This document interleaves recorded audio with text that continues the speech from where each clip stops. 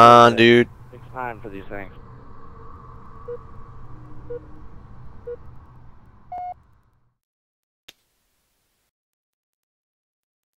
Alright, let's pause it and check out the teams here. So, today, ladies and gentlemen, in this gameplay overview, we have... Wait, is this your gameplay? Oh, it is. Oh. Point of view. Alright, we got Skeptical, Ace, Iron, The Pressure, and the red team. And in the blue corner, we have Senator Titch, Project X Patty, Georgilla, Whatever I Want on the blue team. And uh, they are facing each other off on Narrows Team Slayer. Uh, Georgilla goes plus 12, so we're going to have a good gameplay here. And we're going to try to uh, give him constructive criticism on what he could have done better, even though he already did an amazing job going plus 12. My guy pushes up top. Give it a small arm so you don't get naded. So off start, advantage, he dodges the nades and then picks the side that was less cover to pick off a jumping opponent. Uh, now he's running down low. He got a call out from the dude about the rocket dude. Like 10 seconds to do real quick. Alright, pause it, pause it, pause it, go back. So right here, guys, uh, as soon as he started weakening Ace, he should have realized that after they killed two guys here, um, he should have just attempted to go pick up the rockets immediately. Pause it and go back. Don't play it. No, keep playing it now. Oh, this is what I needed. Party leader, bro. Alright, pause it right here. Alright, so right here, guys, he's already backing the sniper off. And uh, on narrows, basically, if you can keep the sniper down low like this, or uh, at the power-up in a Team Slayer game, when you already have two guys off the start grid, you want to be pushing into their lobby. So you see his entire team's up top. So if he goes low, he's going to have no help, and he's basically going to, like, contain himself. This is think of this area as a box. Okay, if you don't have any teammates around you, then you're gonna be Ace. Could Ace is making a smart play and he's dodging the nades because these nades are easy to dodge. This nade only hits you if you kind of run away through the door, but Ace jumps up on the ledge, allowing him to evade the nade, and Ace is staying alive long enough, allowing one of his teammates, who we'll see here in a second, come down L2. All right, keep playing it. So the player comes down L2 and is able to finish him off.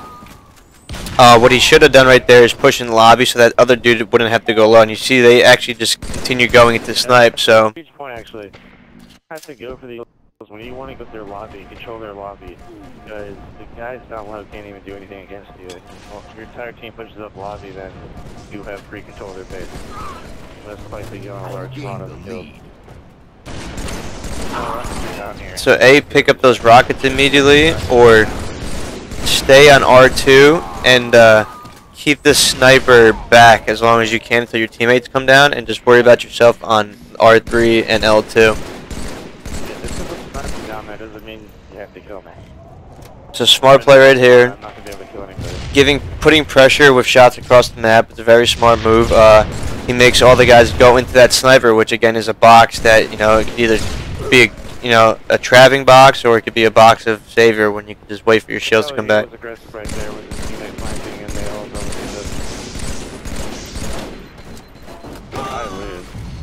Other against me. Yeah, Georgil right there again. Uh, you got shots into the power up. As soon as you see they spawn cannon, you want to just put shots and then start pushing to the lobby. Reason is, uh, you're most likely not going to kill someone with your BR uh, when they spawn power up unless you're getting team shot or picking off a one shot kill. So you want to be pushing into the lobby and uh, you know getting control of the lobby and trapping them there because they're only going to spawn flag and cannon. So if you're able to push into the base, then they're going to be trapped and they're going to have to go to the sides. And then that's when you have guys top minnows shooting those one shots as they try to run away from lobby. Uh, this team on the blue team is doing a great job of uh, controlling lobby. I mean not lobby, but controlling top middle, and kind of keeping the pressure. And the only the red team only allowing them to stay around the ramps on R2 and L2, not letting them get to their side of the map. So here, he's going low. He's trying to back him off, letting him know he could probably push down Rocket Bridge here if he wanted. High sensitivity, I feel like he's like, uh, looking around too fast. I mean, yeah. He's, this is five cents for sure. I want to say this is five cents. Faster than five cents. Looks like seven. No, this looks like a 5 cents with a no slow controller.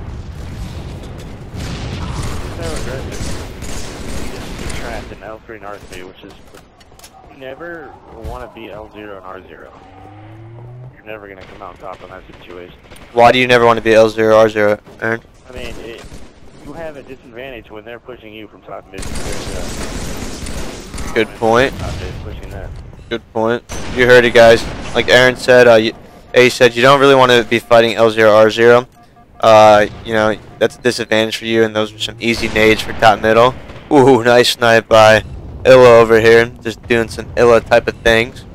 Uh, this is a good play. I, I actually like doing this myself after I snipe a guy.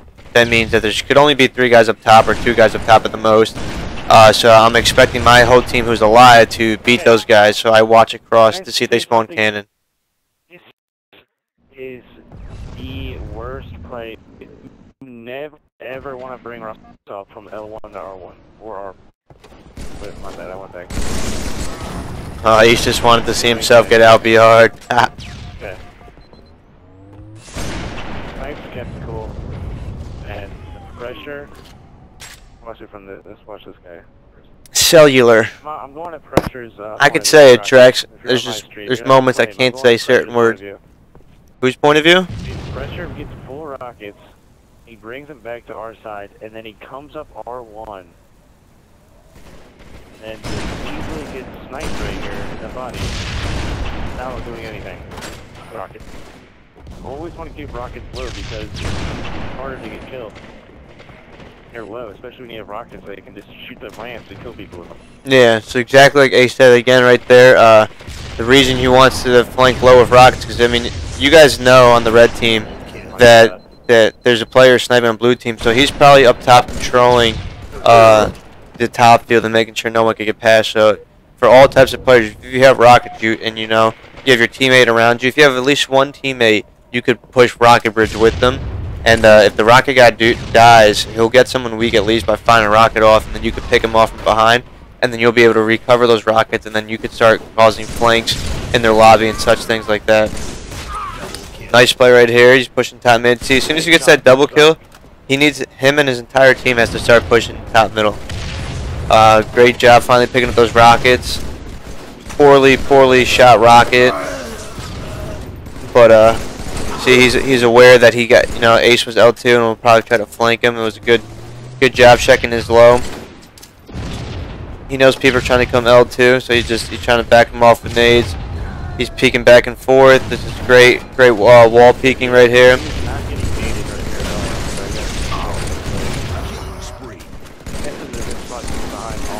So this is great, great plays by uh, Illa right here. Yeah. He's taking advantage of uh, you know the uh, objects on the map and using them for cover. Here, he here he goes again. He's going to be using this for cover.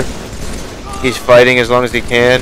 Probably didn't have to jump right there in the afro, but he probably did a you know last resort jump in order to uh, try to pick off that R3 guy. But if he just kept his feet, you know, playing on the on the floor, he would have been good.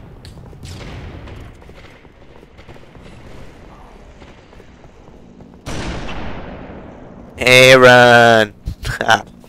Hi, Ron. I don't know why it takes them a minute to get two kills, but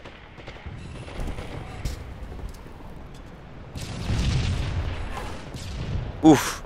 Again, once again, he's using the objects of the map to his advantage and just dodging nades and uh, taking cover from uh, opposing snipers and players. You guys gotta make sure you're always watching the attics when you're pushing up the sniper. Very common spot for a sniper to sit.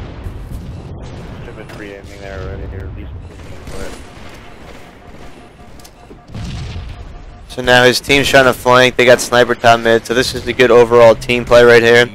Uh, they knew that there was a sniper top middle, so the red team was probably focused in and being like, all right, we can't die here.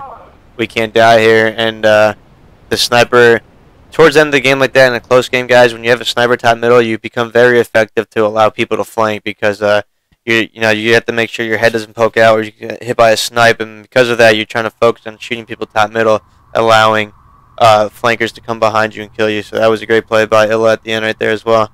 Um, Illa played great that entire game.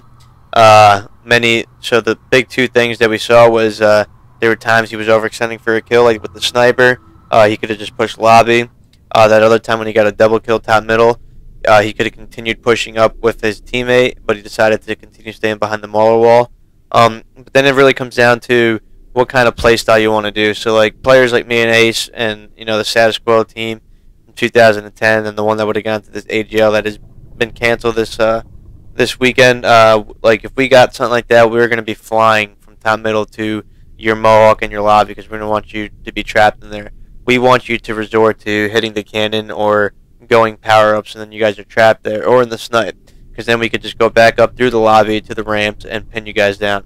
Uh, so, but then there's again, you know, teams like usually all the teams that Tuger's ever been on. If you ever seen them, they like to play kind of more of the passive side. Like that that play Illa did uh, wouldn't be a problem for Tuger's team right there because they'd be set up. They'd probably want to keep their sniper back in their attic, uh, guy behind Mauler wall, and then uh, just snipe people top middle, then use the Mauler wall guy to finish off one shots, and then push up on ramps instead of pushing up on lobby.